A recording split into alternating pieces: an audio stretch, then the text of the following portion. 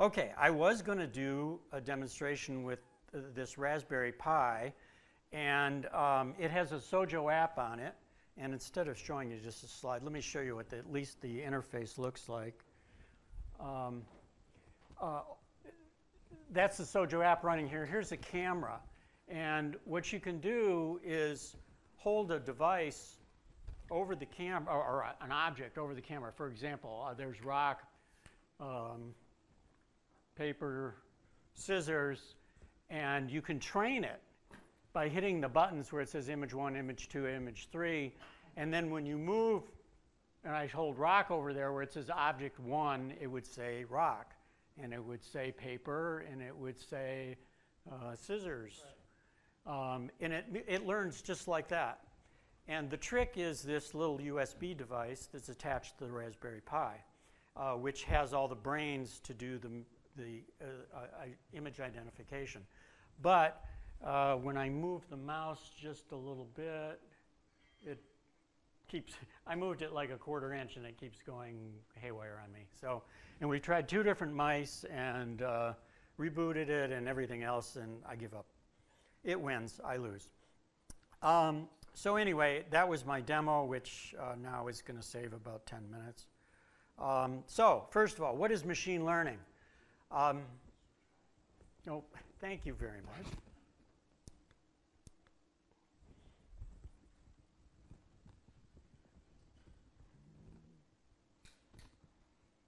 Okay, machine learning, and that was a demo of machine learning, um, supposed to be, uh, is the most common uh, um, uh, type of artificial intelligence. And, you know, this is a big subject in the world today, and pretty much everything you hear about artificial intelligence is machine, really machine learning. Uh, that's the monkey in the room at this point, or the elephant in the room. Uh, and this is all about systems that are designed to learn rather than, than perform a specific task. Um, the learning process, like what I was going to try and do there, creates a mathematical model, which is actually a file that then you use to make future predictions or decisions. Um, most of the models that, you, that are out there are based on massive databases, big, huge databases uh, although there are some exceptions to that. Learning from scratch is possible without a big uh, historical database. Gaming is the best example of this. For example, if you're trying to teach a computer to play chess, you have to just play chess hundreds of thousands of times. Each time, if it wins, you give it a score of one. If it doesn't win, you give it a score of zero. And eventually, the algorithms say, well, one is good, zero is bad, and it gets better and better over time. Um, the other thing that's possible is transfer learning. Now, the, the Raspberry Pi demo is transfer learning. What I had there is not a lot of data, but I used an existing model that, knew, that knows how to identify objects. And then you just fine tune it for the particular object. We're going to use Dana's lipstick and a little Xojo magnet and things like that. And so it can instantly learn how to identify those. And it's a great situation, or a great example with the Raspberry Pi where like in a manufacturing setting, you could control a conveyor, uh, some solenoids, you could sort uh, objects, you could look for defects in a manufacturing process. And, and we're talking about a, $150 worth of hardware there. Really not much to do that. Okay, there's three steps in um, machine learning. The first is you need a model file. And there's tons of existing domain, public domain or pay-as-you-go models. Um, you name it, it's out there. Uh, I just saw a model that identifies military hardware in videos. So, you know, some guy in Ukraine is filming, you know, the Russian convoy coming down the street, and it tells somebody how many uh, uh, personnel carriers, how many uh, artillery, things like that were in the you can also create your own, and I'll demo that. I hope I demo that, I, the way things are going today. My Mac crashed earlier, believe it or not. Um, once you have a model file, you deploy it, which is called an inference. And this is where you use the model to make future decisions and predictions. The third step is, is optional, but generally really important, is you refine the model over time. um, as you gain more data, as you gain more experience, you should be able to get the model to uh, be more accurate. And there's three methods of building uh, models. The first is called supervised, and this is the most common. Um, and this is a learn by example from historical data. So you've got this huge database, and it has all the actual answers in it, and it learns from that. Um, this data is called labeled data, and labeled data is really, really important to get the labels right. If you don't get the labels right, it's really bad. And labeling can be very time consuming and expensive. Um, if you're Twitter and you're taking all these tweets and you're trying to find which ones are objectionable for some reason, somebody's got to go through and say this is objectionable and this isn't. And that can be very time consuming and expensive. The data must be very representative. It's got to be random and properly labeled. If it's not, it's garbage in, it's garbage out, big time. You hear banks talking about, well, we're going to automate our loan process. Well, if your existing loan database is full of uh, discriminatory practices, your model's going to be full of discriminatory practices. The second method is called unsupervised, which is really a bad name for it. I don't know who came up with that, but it's more like data clustering. And this is where you take these massive databases and you organize them into manageable groups. Um, this is used in recommendation systems, marketing, demographic work. If Netflix tells you you should watch this movie, this is how they're, how they're doing it. There's often no single correct answer. In supervised learning, you're looking for the, a really a single answer, yes, no, uh, uh, A or B, something like that. Here it's a little more vague. The third method is reinforcement. Now, this is really the most powerful and probably the most scary in the science fiction movies and so on. Uh, this is learned by trial and error. The computer will try something. If it fails, it tries something else. If it succeeds, then it expands on that and it continually grows. So the desired behavior is numerically or re rewarded, and the algorithms continually try and do better and better. So, model building it's a very process intensive uh, op operation. Um, really complex models require petaflop type speeds and at this point custom hardware. That's where the big advancements have been in this field and um, that's why we have so much machine learning today is the custom hardware. Um, for this reason and some others, uh, building your model in the cloud is really ideal. First of all, that's often where your data is. I mean, if you've got a terabyte database sitting in the cloud somewhere, it doesn't make sense to move that to some other uh, system and then move it back and forth. There's also uh, in the cloud, there's this custom hardware is available to you. You, you know, you have to pay for it, but uh, it, it's there. You can scale as you go. I do simple little models and I pay, you know, $2 to have the model built. Netflix is probably paying thousands of dollars to have their models built um, and you pay as you go. Um, there are uh, numerous players in this, in, in, this business. Amazon, Amazon Web Service, Google, Google Cloud Platform, uh, Microsoft, IBM all offers this service if you're interested in it. Now, your inference options. The first option is leave the model in the cloud and access it with some kind of API. It's got a lot of benefits. Uh, again, Amazon, Google, Microsoft, IBM all offer this service. So build it in the cloud, leave it in the cloud. The second is what we call an edge inference. And this is where the model physically sits and the processing is done at the collection point. So your self-driving car can't send an image up to the up to the cloud to say is that traffic light red or green that doesn't work it's got to be done right at the, at the as an edge inference. Um, so if latency, connectivity, bandwidth, security, if those are a concern, then you need to go with an edge inference. And if you're working with Mac OS, iOS, or Windows, there's libraries built into the operating system to do that. There's also dedicated hardware. There's this USB accelerator, which I had on the Raspberry Pi, which um, gives it the horsepower it needs to do the analysis. Uh, that's $60 item with a you know $40 Raspberry Pi. It's it's a cheap option. There's hobby level things, uh, Adafruit, uh, SparkFun, those kind of uh, companies. They sell things between 15 and $75 that will do edge inferences. And then there's Raspberry Pi, what I call Raspberry Pi-like devices uh, that range from 100 to $200, but they run um, on 64-bit Linux ARM, which we found out today, hopefully we'll have soon. And here's a picture of one. This is one that I have. Um, and you can see it looks very much like a Raspberry Pi, except the massive heatsink uh, and the fan.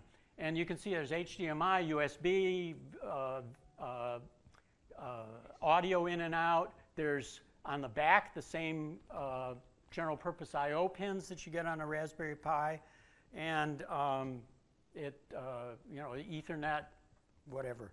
And um, I haven't been able to build a Xojo app for this yet, but hopefully uh, soon. Um, so a little more on the edge inference. If, again, if you're using Mac OS, built into Mac OS starting with 10.13 is Core ML. You could use declares to access that, but the easiest thing to do, do is use Christian's uh, Monkeybread software plugins, which I'll demonstrate shortly. Um, there's also the USB accelerator. Will run on a Mac, the one that I had on the Pi that I couldn't get to work. Uh, it has comes with C++ libraries and um, Python. And what I do to run from Xojo, uh, because I couldn't afford to do the C to do a plugin, um, is use a shell and just make Python calls uh, from Xojo, and that works quite well. For iOS, starting with uh, 11, you can also use declares or the Monkeybread um, plugins. For Windows, starting with Windows 10, Windows ML was built in. Um, you, again, you can use declares, but it's much easier to use Clifton's plugin. You also have the option of the Coral USB device. Um, for Linux, there are distributions that have machine learning libraries built in, or you can always add one in. And again, you have the Coral USB accelerator. Jumping back to cloud services. Uh, as I mentioned, you can build your own uh, model in the cloud, and I will do that shortly, I hope, uh, if something goes right today. Um, and as I mentioned also, they can host your model. But there's a whole suite of pre-trained services that are available in the cloud. And this is really what I use in my you know, day-to-day life and products that I, that I uh, make and sell. And again, these services are available from the same people and others from Amazon, Google, Microsoft, and IBM. And I break them down into various groups. The first is machines communications group. Um, when it comes to text, it will comprehend text. You pass it a whole bunch of text and comes back with comprehension. Uh, text to speech, which of course we can do on the desktop, so it's not that big a deal. And language translation. Google Translate can be accessed this way. Um, from an audio standpoint, you can transcribe, transcribe uh, audio into text. You can build those annoying customer service chatbots, the ones that don't give you the answers you want, either text-based or, or audio-based. And then the really big one that that's really used quite a bit is image and video machine vision, like facial identification, keyword identification, optical code rec uh, character recognition, logo detection, you name it, and I'll show you a bunch of that shortly. There's also a whole bunch of other services like business forecasting, recommendation system, resume evaluation, call centers, fraud detection, you name it, it stuff's out there. And these are all very available through REST APIs. Okay? So you send out a post uh, or get HTTPS request with a JSON payload, and you get back some kind of response with the, with, with the results. For example, Google Translate. I say, here's some text, I, it's in English, I want to translate to Spanish, back comes the Spanish, just like that. So you get back the requested data, generally it's in a JSON format, um, you can get back massive JSON arrays. It's really a chore to, to uh, crunch through them all. You get back X, Y, height, width, timestamp information for audio video. You get back a confidence level. This is one of the really most important parts of this. Uh, the question is the data you sent it, how confident is it that that data is correct? If you send it a face and say, you know, is this face in this video, and it comes back with 50%, it's not very good. If it comes back with 99%, that face is probably in the video. Some of these services are synchronous. Some of you send it out, it comes right back. Others are batch. You send it out, you get back a batch number, and then you have to submit another request to get your actual data. It really depends on the service and the size of the files. The hardest part of all this with, with those services, particularly Amazon and Google, is the authorization. They give you authorization keys, and you got to bundle this up, and you got to encrypt it, and, and you have to sign it, and it's, it's really a mess. But come to the rescue, I have classes, which you all now have for both Amazon and Google. Um, for Xojo, they use API 1. I haven't moved them to API 2, but it wouldn't be very, very difficult. And URL connection to do all the work. Um, it requires 2019 R1 or newer. You do not need any plugins. Uh, they are not, my, my uh, uh, classes are not as complete as the SDKs that Amazon and Google provides, um, but they're really easy to modify and expand. Um, each one includes a link uh, to the documentation, and I do some JSON parsing for you so you can see at least how it's done. I got to order there a little bit. Um, but there's a link at the top of each uh, method, uh, the main method, where you click on it. It takes you right to the documentation so you can see all the things that maybe I didn't expose. It includes the authorization. It, all you have to do is get your own keys, you put those in, and you're all set to go. You do need to create a free account uh, or an account, which can be free if you don't, if you don't use it. Um, actually, you can use it uh, quite a bit without incurring any cost. Uh, there's the address for Amazon and Google. You go to there and it, they'll walk you through setting up an account. And the, the pricing and everything is very well laid out. A lot of the services are free or there's a minimum, a tier that if which you don't exceed, you're not charged. My typical bill for a month, um, I don't even know why they charge me, It's usually about a dollar. but it comes through on my credit card. I don't care. And they, uh, as I said, there's, there's quite a bit of things you can do for free. You can try it. Okay, so let's go back to some demos here. And this is a demo that I did. For those who were in Miami, saw something similar.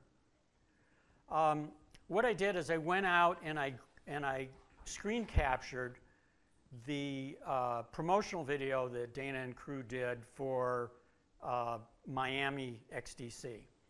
And I also went out and I grabbed images off the web of various people that were seen in that video. I uploaded the video to Amazon service uh, to an, an, S3 bucket, if everybody knows what an S3 bucket is. And then these headshots here, I uploaded into what they call a collection. And that was all done with the REST API. Fairly simple to do. Um, one other thing before I play the video, uh, if I click on any one, it tells me, well, that's uh, Jason. I, it doesn't know that that's Jason. I told it it was Jason, so I, I don't want to be out of line there. Uh, he's a male. He's 26 to 43. He's smiling. He's happy. Let's look at Jeff. Um, and, and this is standard stuff that, that, that Amazon or Google or, or these other companies will do. They look at the picture and they can glean this information from that picture. So that's one of the services you get. Um, the other thing, as the video is playing, um, I transcribed um, the audio into text, which you'll see where it says English, and then I translated it in Spanish, so you'll see it in Spanish. Um, now, I have to admit, this is all done batch. This is not real time. Um, these are all services that you, you ask, you send a request out, you get a job number, you get it back, you get this big JSON file, and then you work from the JSON file. So, um, you know what? We didn't hook up the audio. Maybe if I get close enough here. Hopefully you can hear it.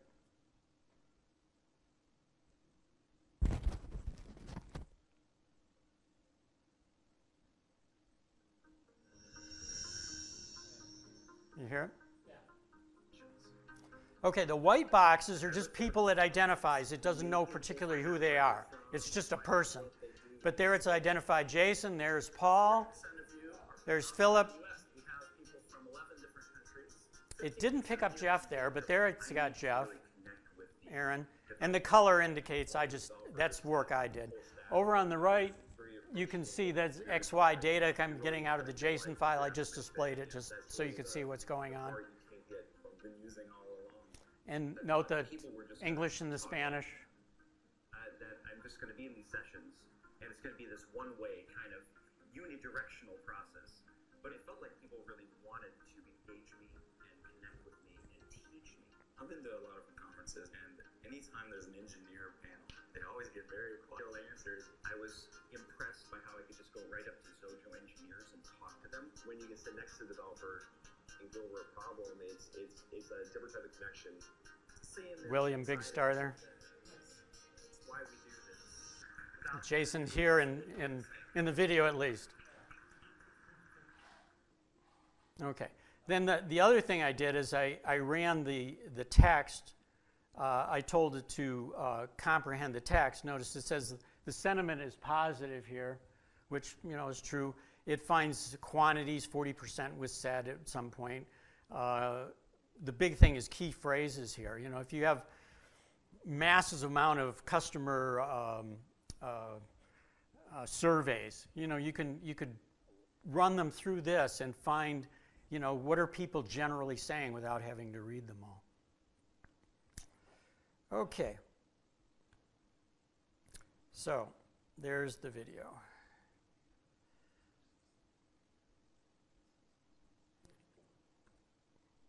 Okay. Um, let's just keeping track of where I'm at here. Okay, now I'm going to go. Hopefully, I've got an internet connection here. It looks like I do. I kept lo- losing that earlier. Um, I'm going to show you how you can build a model. This is using Google's AutoML service. Now, they've actually changed the name and they've changed this interface a little bit, and they did that uh, a couple weeks ago. And I didn't want to it says migrate to Vertex AI and go to Vertex AI. That's their new version of this. I didn't want to change at the last minute because I thought it was uh, going to cause me problems. Anyway, I, what I did here, um, my wife likes to take pictures of uh, everything, including monkeys near our house in Costa Rica. And we have three types of, of monkeys down there um, howler, squirrel, and capuchin. And I thought, well, can I, I uh, you know, create a model that will identify those three types of monkeys. So the first thing you do, and, and, and AutoML to me is the easiest way to build a model by far. The first thing you do is you just import, you import the data that you want. I've already done that. Um, and you can use this, this is the interface for images, but there's another interface if you have a table structured data, uh, you know, a database, something like that. So once the images are uploaded, you have to label them. Remember I mentioned labeling. So each one of these, I had to go through and identify myself which type of monkey it was. Um, now, they make it really kind of easy to do this. In fact, what I did is I created three folders on my desktop, and I named the folders Howler, Capuchin, and Squirrel, and then I just dragged the images into that folder, zipped the folders all together, and uploaded it and Google separates it out and labels them all. But you can go in here and you can label them individually, you can change them and do whatever you need to do. And I only have one label per image, but you can have multiple. So I could have male and female. But I couldn't do that because I can't tell whether they're male or female. Um, so, yeah. Um, and so I can't expect the, the machine learning to do it either. Um, now, I only have a total of 51 images. You can see the statistics over there on the left.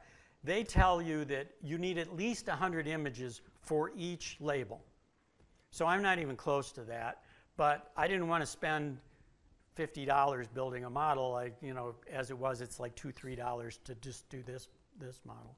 So once you've got this all in here and these are all labeled, then you go to training. And uh, these are, you can see two models I've already done, but you know, if I hit this train new model, I'm not going to do this. It takes about 25 minutes, even with just this amount of data. And you can see the first question I have, uh, hopefully you can see that, is do I want to cloud host this or do I want it edge? If I do it edge, it builds a, a file I can download. there are about six different options of different, there's uh, different uh, operating systems use different uh, uh, formats, uh, but they support them all. So, and then you can also set a budget so it doesn't just keep churning away and running your bill up. You can tell it, I only want to spend an hour or two hours, um, but I'm going to cancel that. And what I'm going to do is take a look at this model that's already built. Now, the key thing when building a model is this here, this confusion matrix. The standard practice in model building is you randomly hold back 20% of your data and you build with 80%. And then you use that 20% that you randomly held back to check your model. Now, this is the absolute perfect situation.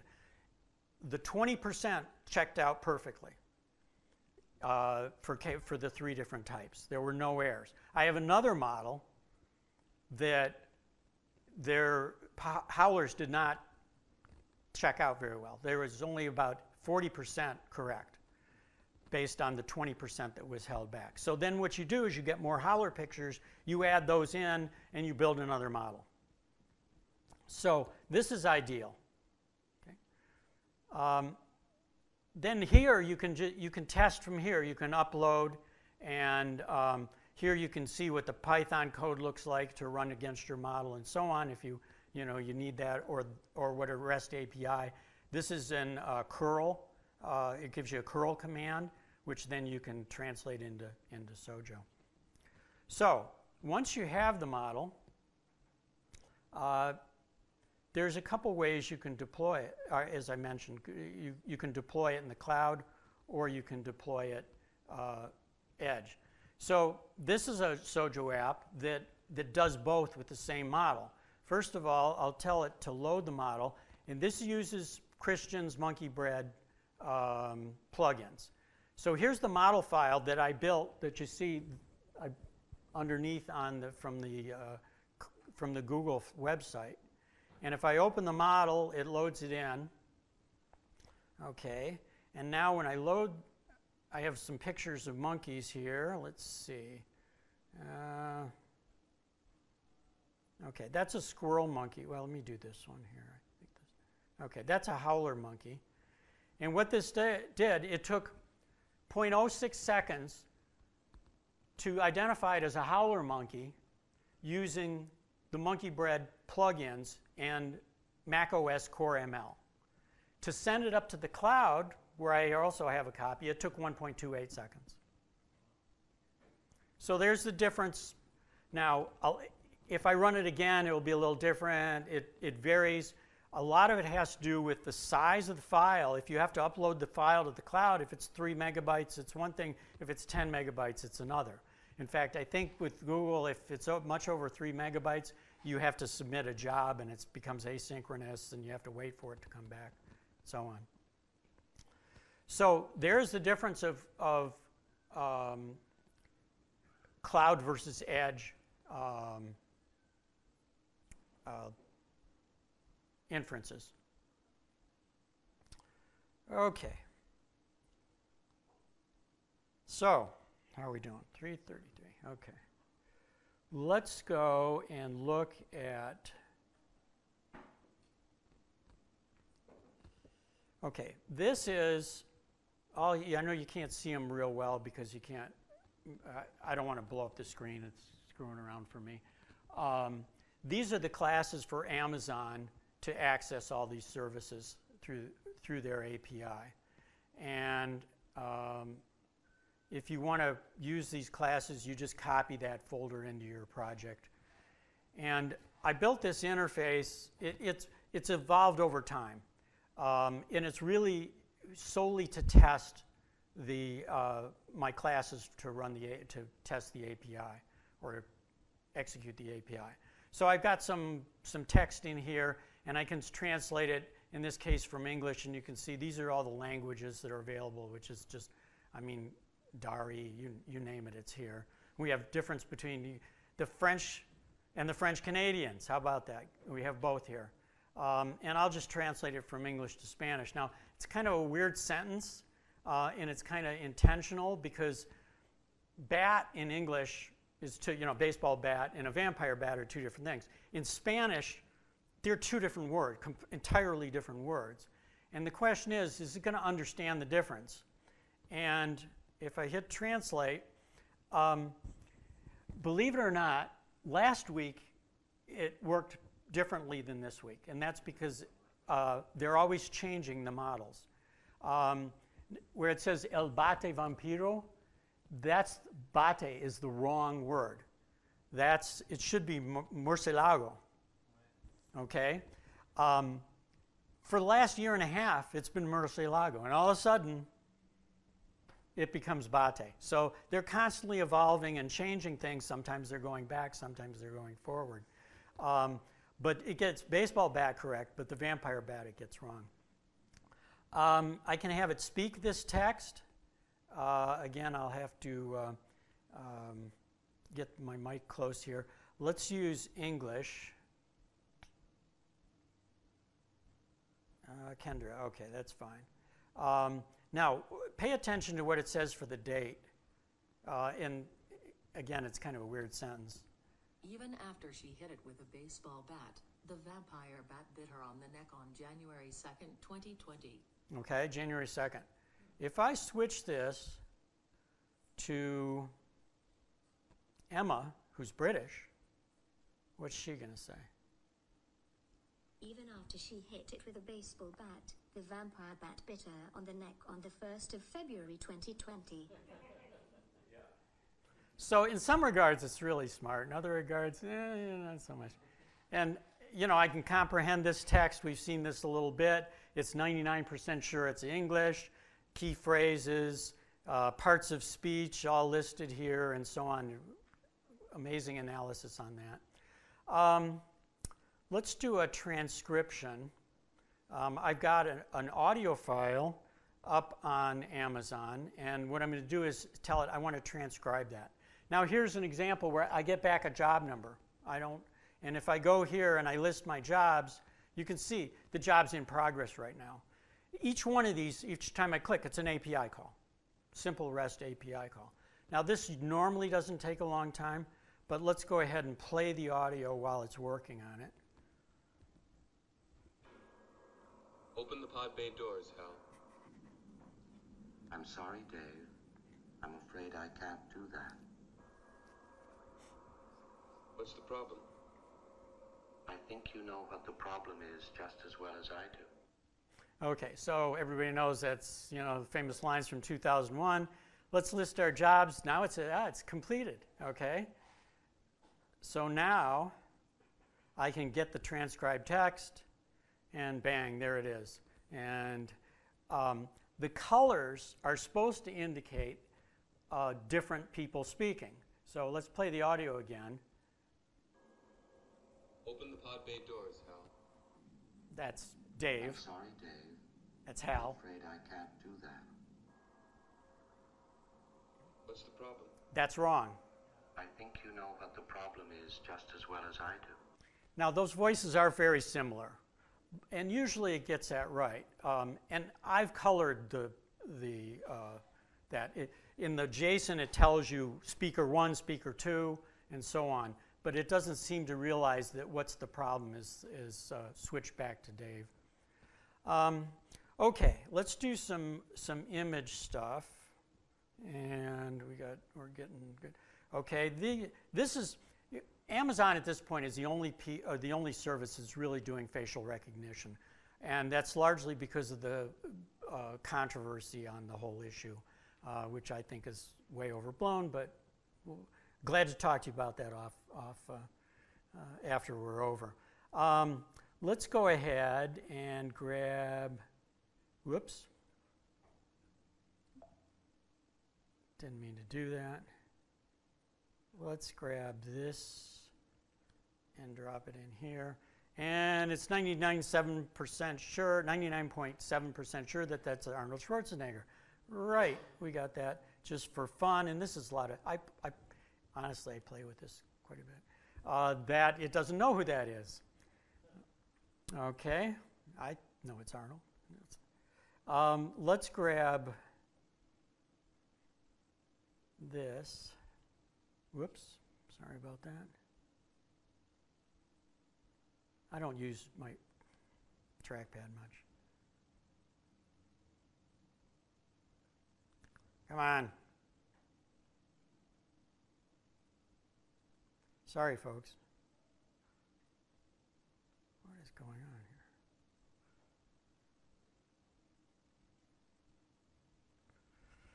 here? Uh,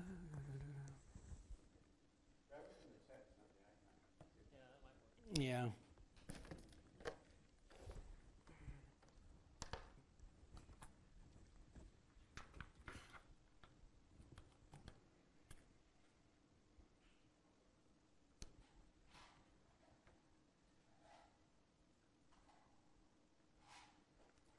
Okay, we know who they are, right? The Osbournes?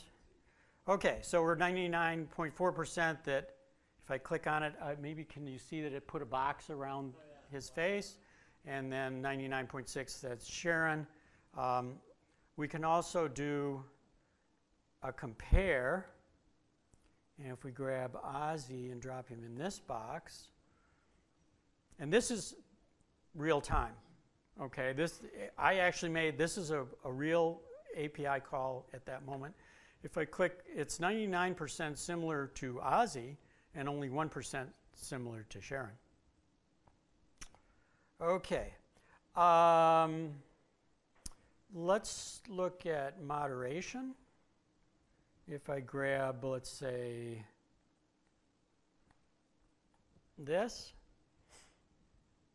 it tells me it's suggested, but I was trying to find an image that was not totally obscene, but anyway. If I grab um, uh, this image and look at moderation, it knows that that's somebody smoking. Um, let's just switch this to keywords.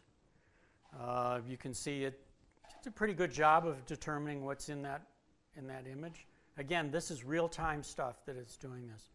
Um, let's go to um, extract text.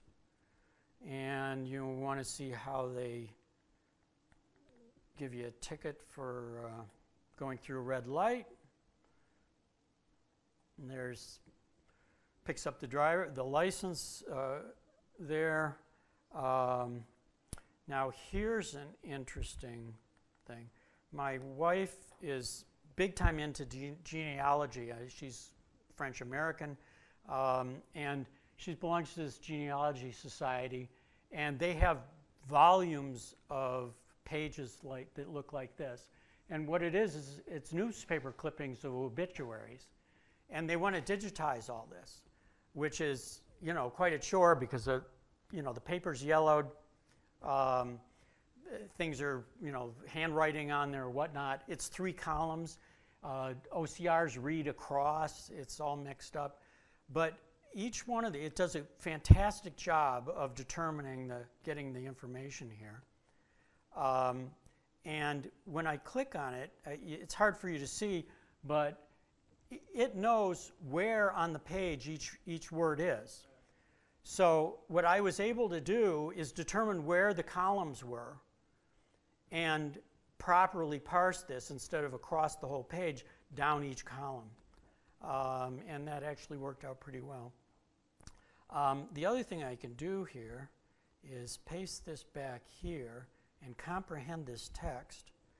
And, well, I see I exceeded the limit uh, of the service I have, but uh, that was an error message back from, uh, from uh, Amazon. But you can see it's got it found dates and things. So making this data searchable from, from these volumes of, of newspaper cutouts is really, uh, you know, putting them into a database is, you know, locations, you know, here's, here's person's name. Uh, it's just phenomenal technology. Um, one last thing I want to do is, okay, there's a sentence. This is, you know, the, there's limitations, and, and the limitations are very important, very important to understand. Um, when you read this sentence, uh, you know, is it, is it a positive uh, thing or negative. Uh, This is from a review of, of a movie, and um, uh, uh, let's see.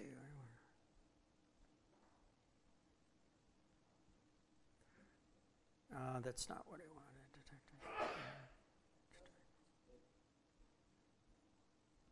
Oh, wait. I know, I'm looking in the wrong place. Okay.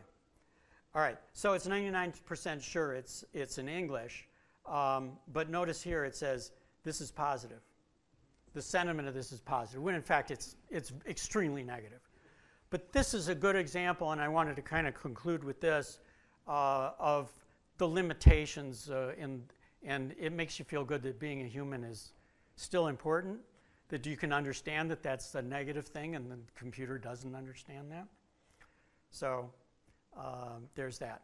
Um, I've given Dana copies of, of um, this project, which has all the classes for Amazon and the Google project. Um, so um, enjoy. Any questions? Kim. No, just a curiosity, when you uh, were showing the video from last year, the, the, the FCC video, you said that the text uh, up on the video was transcribed. You meant the AI transcribed that, right? Not the Yes. Oh, yes, yes. Yeah. Yeah, I I did the English, the transcription from audio to English, and then a separate call to take the English text and convert it into Spanish text. Two totally independent things. Yep. So when you, when you're using that uh, newspaper recognition uh, system, you've got two engines running, right? One's uh, biometrics on the facials and one is on the text. Um, the the newspaper. One you said your wife wanted to Yeah, there there it was purely OCR, optical character character recognition. So how does it distinguish the, the graphic then the face? Uh, it didn't. So It didn't. I, I could I could run that, but it, I I don't have anything to compare it with. It, you could say, yeah, it's a man in his 60s, but I don't know who it is. Well, the name was in a caption underneath him. That's it. That's it. It wasn't uh, So that. thinking, I I was thinking if you've got graphics with text on the same target, um, you must, and you're scanning left to right, there must be a way of discriminating between text and going to the graphics and then using the engine to recognize the graphic. Well, yeah. I, uh, what I'd have to do is do a separate call to say, well, look at these graphics, because all that was doing that API call is only looking for text, and that's it. Yes. When you're looking at the monkey there, you're running one in the cloud and one on the desktop, Mm-hmm. they're both using the same model. Are they using the same engine to recognize it? So if you did, if you showed the percentage confidence, would they both be the same? Um, you know, I'm not sure. Um, it, it, it came from the same data, um, but when you, when you build the model, you have to say, is it a cloud model or a, or a, a, a, an edge model? Um, so you're building it twice. Whether they build it exactly the same way or not, I, you know, I'm not 100% sure. You, um, you know, my data set's so small that, uh, you know, quite honestly, I'm lucky it works this well.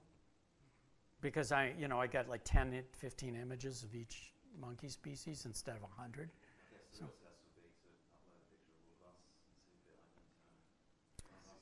Um, yeah,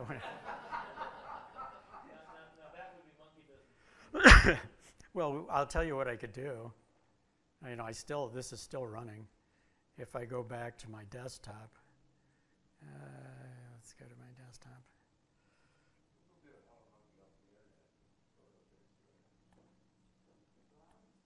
And uh,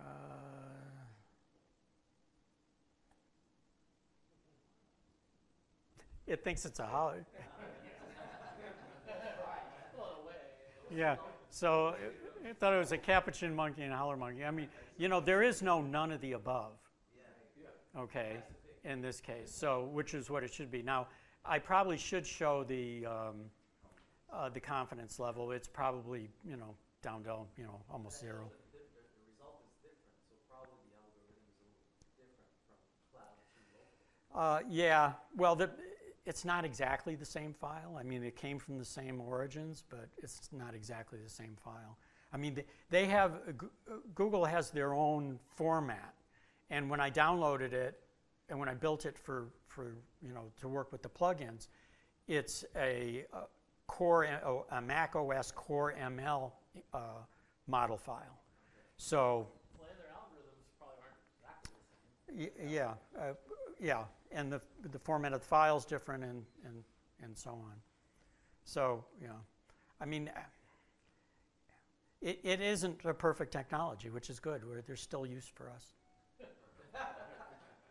So, any other, okay, another question. When you do the OCR, I notice that it brings back the result, but it doesn't follow the column order like a human. Do you have that information at all on that? Yeah, it, it tells me the position of every word. And so it, it was up to me to go and figure out where the columns were. Okay, so you could uh, find it basically. Yeah, yeah, and I was able to do that. What I, actually, what I do is I ask the user how many columns of, of are there, and then I figure out where the gutters are, and then so I read to the to the gutter, and then actually I make if there's three columns, I make three passes through the JSON array. The first pass I look up to a certain point. The second pass I look from the, that point to the next point, gutter, and so on. And, uh, and that actually worked pretty well. I, um, uh, you know, it's not exact, but uh, uh, musical uh, um, I believe there's models that will do that, that will transcribe music. Uh, there's a whole host of, of machine learning in, in music. I mean, music creation, art creation. Uh, there's a whole world of that, which, you know, I, I deal, my, my business, my consulting is more in uh, images and things like that. And, and for me, images demo well as opposed to just text and stuff. So. I'm, I'm around for the duration too, so if you have any questions. Yeah, Jeremy. Oh, sorry.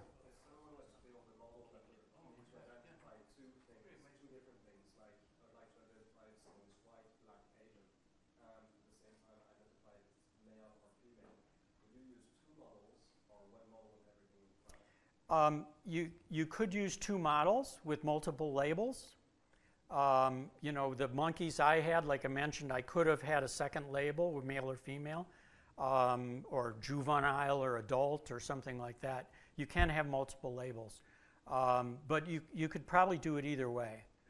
Um, I, you know, I don't have, honestly, I don't have enough experience with multiple labels to, to tell you. Um, you know, you can, you can play around with a lot for free and there's differences between amazon's got its strengths google has its strength and you can try it with one and try it with another and see which one you get better results. But as i say I mean, a week ago it was working differently and it's working now. So you know at one point i had a slide that compared the two services and said this is where i think the strengths are and the weaknesses but I thought, uh, you know, I, I don't want to lead you down that path because I may be wrong. Yep. The quality of the images or the, the resolution is limited by Amazon, or you can upload huge images with better quality get Uh, the better, the bigger, the better. Yeah, uh, and you when you upload images with more data, basically. yeah, and and the other thing is, if you if your image is bigger, you're going to have to do it asynchronously. You know, I, I think it's three or four megabytes. If the image is bigger than that, it's going to say, I, here's a job number, check with, back with me later. It'll send you an email when it's done. Um, um, yeah, and, it, and the, the other thing is, I mentioned earlier, you know, you, you, where your data is is important. If, if, you, if you have a lot of images uh, that you want to analyze, then consider storing them in that company's storage.